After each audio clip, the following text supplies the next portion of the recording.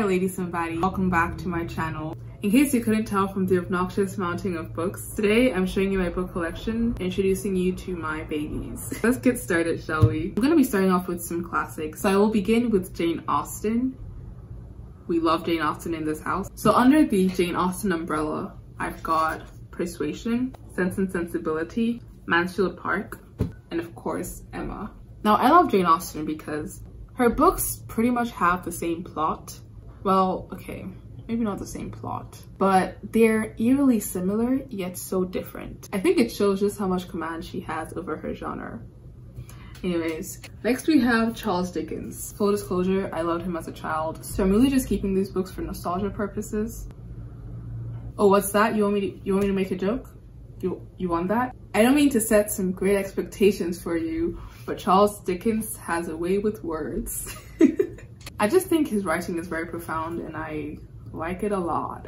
First off, Great Expectations, Christmas Carol, Oliver Twist, and A Tale of Two Cities. Next we've got Jules Verne. I really admire Jules Verne's ability to ignite our imagination by use of words. That's what writing is, but he's good at it, okay? Um, especially with the topics that he chooses to tackle. It tends to be quite outlandish and it's like, how did that even come to your mind? So I've got Around the World in 80 Days and 20,000 Leagues Under the Sun. Oh man, I'm sleepy. Next we have Little Women. I've made my qualms with this book very clear in my last book haul video. I recently watched Greta Gerwig's um, adaptation of this book and I really loved it. It kind of made me see it in a new light, not gonna lie. So maybe I don't hate it as much now. I just personally feel like the end of this book was quite contrived and very rushed. Next up, oof, Treasure Island, another favorite. Let me read you something from this book just to show you how beautiful it is. It was one January morning, very early, a pinching frosty morning. The cove all grey with hoar frost, the ripple lapping softly on the stones, the sun still low and only touching the hilltops and shining far to seaboard you can just visualize the scene. I It's amazing. Next I have Sons and Lovers. I started reading this as a child and I I thought maybe this is not the book for me. Next we have Anne of Green Gables. I love this book. Just puts a smile to your face. It's really that book to go to if you just need to relax and unwind and you just want to forget all your worries this is the book for you. I don't know how I donated the Tom Sawyer book and I still have Huckleberry Finn. Next we have Robinson Crusoe. Not gonna lie, I have a bone to pick with abridged books, abridged versions of books that aren't targeted towards children. You know, this wasn't abridged for children, it's just abridged. And I just feel like if the author didn't want it to be as long as it was, it wouldn't have been as long as it was. So why would you take it upon yourself to abridge it you know. But anyways, yeah. Oscar Wilde did a really good job with the picture of Dorian Gray. You know those books that when you read it, it just makes you think and you ponder on it for a really long time?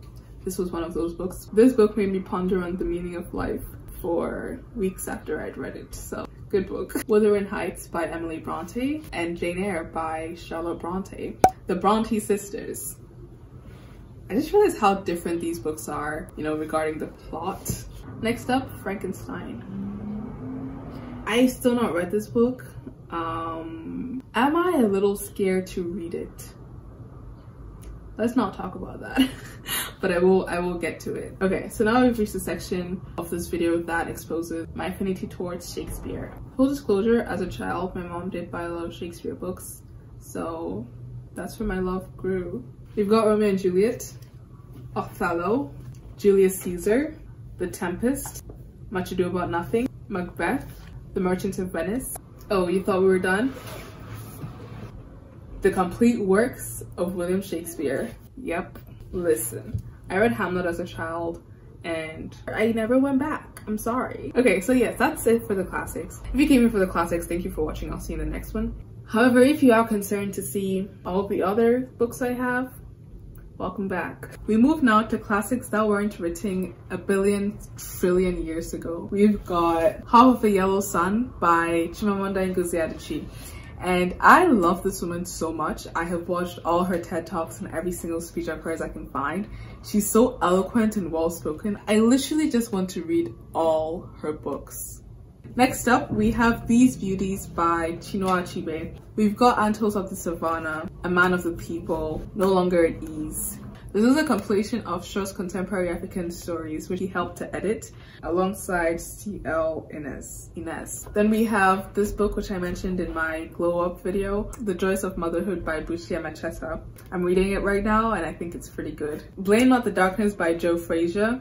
I actually need to reread this because I don't really remember what it's about but I know I liked it. Searching by Nawal El Saadawi. I probably butchered that, I'm so sorry. X24 Unclassified, another compilation of short stories. Low-key, high-key, wish I could have had a story of mine in there but it's fine. I'm sorry I'm moving so fast. Right now there's construction going on, so I'm trying to make the best out of the break that they're on right now. This is The Narrow Path by Francis Selormey, and this book struck a chord with me when I first read it. Every now and then parts of this book just flash across my brain, and I'm just like, I need to reread this. And finally, to top it all off, A History of Ghana by F.K. Twigs. I'm kidding, it's F.K. Wall. Okay, speed round. Marley and Me by John Grogan. You'll laugh, you'll cry, you'll feel all the feels. Size 14 is not fat either by Meg Cabot. I don't know how I feel about this book. It's a little bit weird. I feel like it's a chick flick but wrapped in a murder mystery and it's just a little bit odd for me, not really my taste, but I have it. I should probably give it to someone who might like it. The Runaway Jury. I've talked at length about how much I love this book. It's really good. Highly recommend it.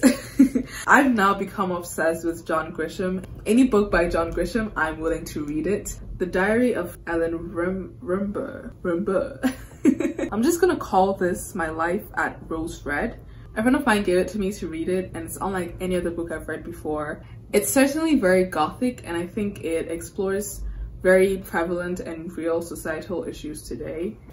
That same friend of mine gave me this book to read, which is Oscar Season, and I'm yet to read it, but it looks cool. The Pigman by Paul Zindel. This book was basically a fever dream of my childhood. I vaguely remember it, and I remember I really liked it, and I don't know why. As in, I've reread it, and I don't know why I liked it so much as a child. Next, we have this collection of books by Comtesse de Ségur, this again was a childhood favorite and I kept it because look at the covers.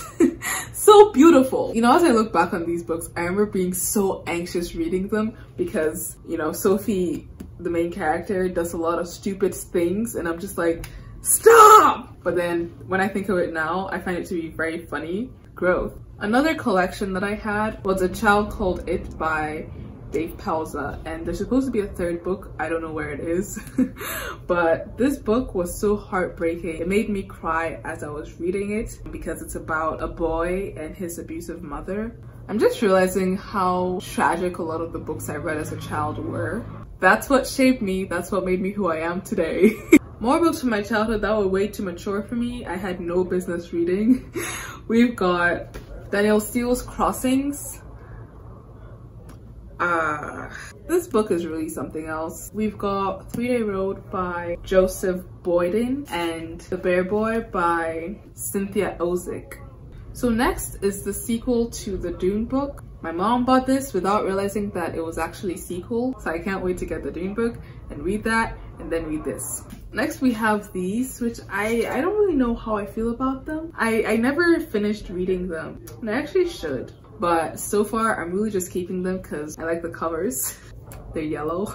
We have the To All the Boys series, which a friend of mine gave for me to read. She said I would enjoy them and I began to read them and I kind of lost interest.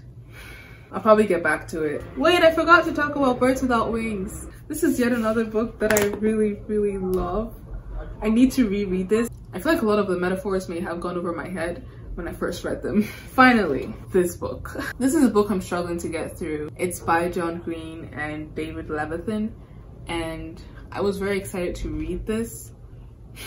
I'm making a reading vlog right now about this book because apparently I'm a booktuber now. But yeah, I was kind of, you know what, you'll see in the video if you watch it. But I'm reading it, it's all you need to know. well, thank you so much for watching this video and I'll see you in the next one. Bye.